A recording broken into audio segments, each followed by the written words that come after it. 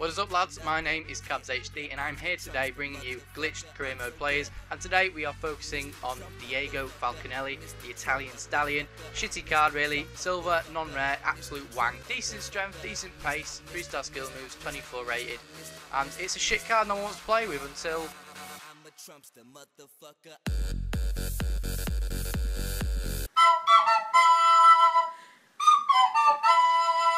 Right guys, so this is his final form, if you like to say it like that. It's almost like Pokemon, he has evolved.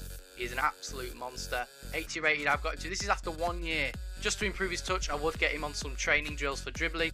I'm aware this is only a minute video. I feel that's good. It's short and sweet. It's straight to the point. You'll have to be mad if you don't love it like that. If you enjoyed this video, hit the like and subscribe to my channel. I have got more videos. Thanks for watching.